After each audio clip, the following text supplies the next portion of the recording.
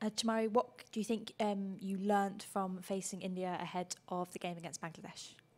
Actually, actually um, we learned a lot of things in this tournament. We we uh, we played a lot of close matches against Australia, against New Zealand, and uh, India.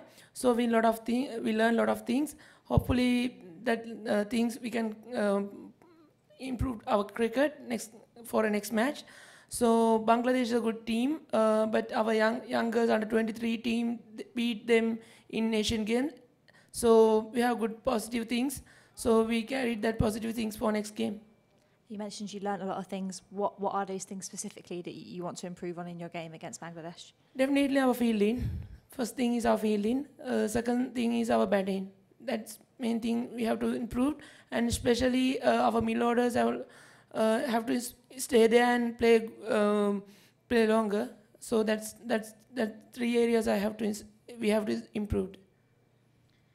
And how important is ending the tournament on a high um, for your team, both in general and also um, to give some of the players who are saying their farewells to cricket a good send off? Um, actually, uh, we really enjoyed in this uh, T20 World Cup, and um, um, yeah, um, all teams playing really good in this T20 World Cup, and hopefully, uh, good cricket. Uh, we, we can see good cricket in semi-finals and finals. So that is really good for women's cricket. Um, yeah, hopefully this time, uh, normally England, Australia win the World Cups. So I hope this time uh, Asian team can chance to win the World Cup. And what are you looking to achieve in, in, in your final game in terms of your batting performance? Um, how do you want to improve on the one against India, against Bangladesh?